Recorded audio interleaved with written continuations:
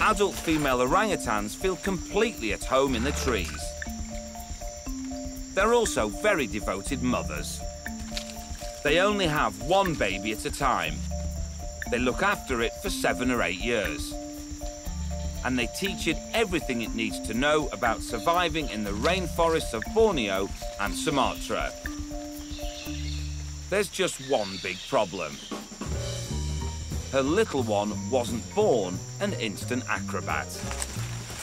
She may be comfortable dangling 100 feet above the ground, but he's not. All he's got is the instinct to hang on for dear life, while his mother takes him on a wild ride through the treetops. You'd think a mother might give her kid a break and head for firm ground, but there are far greater dangers down there. And the food's up here. The sooner he gets used to it, the better. But his home is so treacherous, he won't leave his mother's side for at least two years. When he finally does, things get even more dangerous. Like any toddler, a little orangutan is bound to stumble.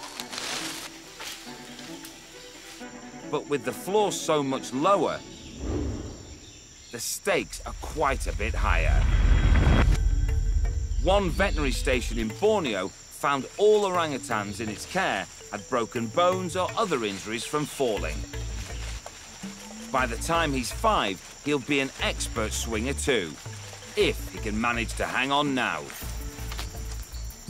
As precarious as life can be for a young orangutan, it was born to live in this forest.